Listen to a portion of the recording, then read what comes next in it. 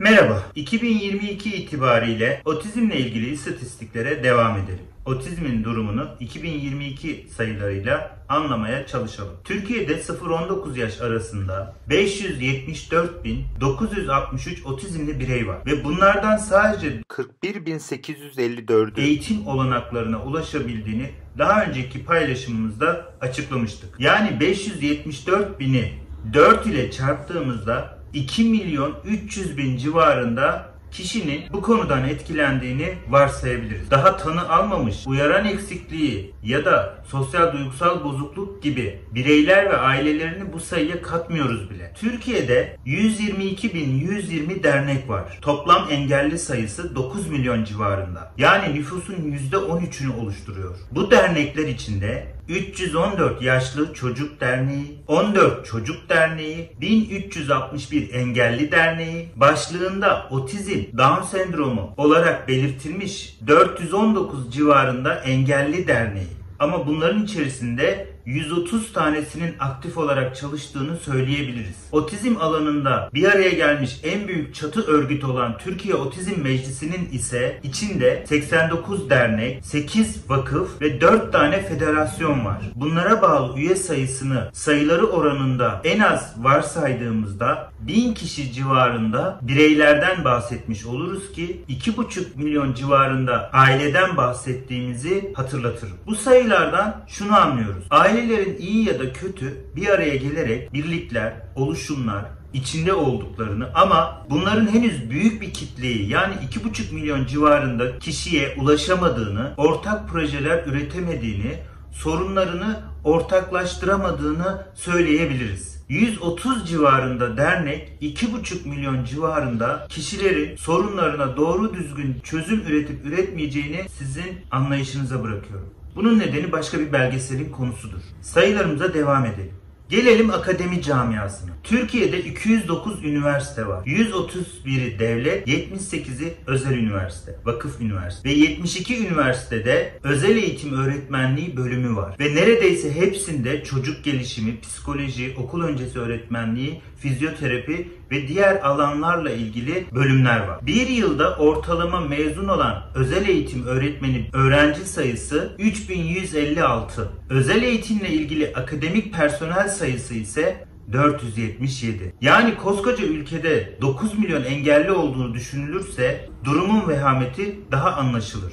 Ayrıca bazı konularda akademiden fazla ses çıkmamasının ve bu alanda yaşanan sorunlara müdahil olamamasının nedeni de bir şekilde anlaşılmış olur. Sinan gibi bir meselede bile akademi dünyasından bir eleştiri veya anlama ihtiyacı, müdahil olma ve müdahale etme gibi bir yaklaşımın olmaması da ciddi olarak anlaşılması gereken konulardan biri olarak karşımızda duruyor. Erken yaşta tanılama, teşhis ve tedavi dışında buralarda ne yazık ki otizmin diğer alanlarına ilişkin meslek kazandırma, kariyer oluşturma, meslek ve gelecek oluşturma, yetişkin otizmliler ve bunlara yönelik neler yapılacağı konusunda ne yazık ki birkaç proje dışında bir çalışmanın olmadığını da görüyoruz. Çuvaldızı kendimize de batıralım. Kimseyi gücendirmek, kızdırmak veya suçlu ilan etmek değil. Anlamaya ihtiyacımız var. Nerede kaçak var keşfetmeye, gücümüzü dağıtan unsurları doğru anlamaya ve kaynaklarımızı doğru düzgün kullanmaya, yönetmeye ihtiyacımız var. O da farkındalıktan geçiyor.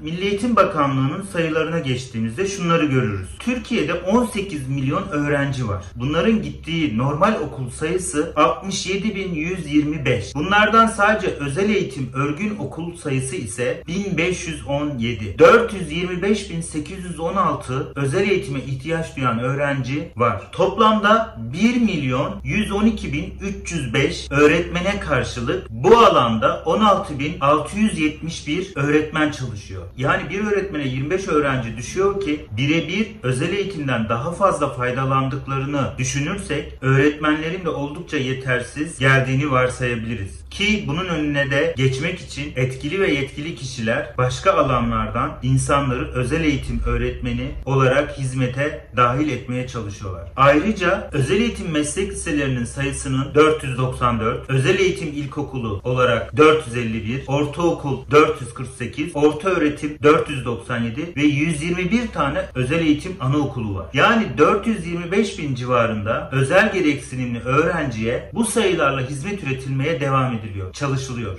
Devletin engellilerin toplumsal hayata katılımı ve özel eğitime için ayırdığı kaynak ise 7 milyar 556 bin 630 bin civarında. Bunun MEP bütçesine oranı %5. Ayrıca Türkiye genelinde 3000'e yakın özel eğitim ve rehabilitasyon merkezinin olduğunu düşünürsek buralarda en az 50 personelden 150 bine yakın eğitimci ve terapistin çalıştığını öngörebiliriz. Ortalama 100 öğrencinin eğitimden, terapiden faydalandığını da hesap edersek 300 bin civarında özel gereksinimli bireyin hizmet aldığını düşünebiliriz. Sağlık Bakanlığı'nın verilerine bakalım. 2022 sayılarına ulaşamadım. Bu yüzden daha önceki sayılardan yararlandım. Elimizdeki en son verilere göre Türkiye'de 2020 yılında 171.259 doktor var. 11 tane psikiyatri hastanesi ve 4 tane de çocuk hastanesi var. Mart 2011 itibariyle aktif olarak çalışan 206 çocuk ve ergen ruh sağlığı hastalıkları uzmanı bulunmaktadır. Yine 2011 verilerine göre Türkiye'de sağlık alanında aktif olarak çalışan 1370 psikolog, 613 sosyal çalışmacı bulunmaktadır. Ailelerin hastanelerden rapor çıkarmak, rapor süresini uzatmak, sağlıklı şekilde ilaç takibi ve yönlendirmesi yapmakta zorlanmasının neden bu konularda sorunlar yaşadığı açıkça anlaşılmış olur. Peki neden bu sayılarla 84 milyonluk nüfusu olan bir devlet halkına uygun sağlık, eğitim, yaşam koşulları sağlamakta zorlanır? Ödediğimiz vergilerin hizmet ve çözüm üretmekle görevli etkili yetkili kişiler tarafından daha yaşanabilir ve sürdürülebilir politikalar üretmekte bu kadar zorlanılır. Vaatler gerçekleştirilmez ve çözümler sınırlı ve kaynaklar yetersiz olarak karşımıza çıkar. Neden etkili ve yetkili kişiler gereken kaynakları yaratmakta bu kadar zorlanır ve sosyal devlet anlayışı yerine her koyun kendi bacağından asılır tarzı anlayışlar ve yapılacaklar yakını yetkisi olanların insafına bırakılır. Şükür neden benimsenir? Elimizdeki imkanlar bunlar denilerek neden çaresizlik vatandaşa kader olarak sunulur? Ben devletim, etkili ve yetkili bir kişiyim. Devletin parası şu kadar. Aldığımız vergi budur ve biz bu kadar parayı şu şekilde yöneteceğiz. Şu kadar hastane, kreş, okul, özel eğitim merkezi, bakım merkezi, yaşam köyleri, materyaller ve benzeri ve en önemlisi gerekli personeli alabilecek, eğitebilecek, halkın hizmetine sunabilecek kaynağı kullanamıyoruz diyemiyorlar. Neden vergilerimiz doğru düzgün yaşamlarımızın daha kaliteli ve iyileştirilmesi adına kullanılmıyor? Neden?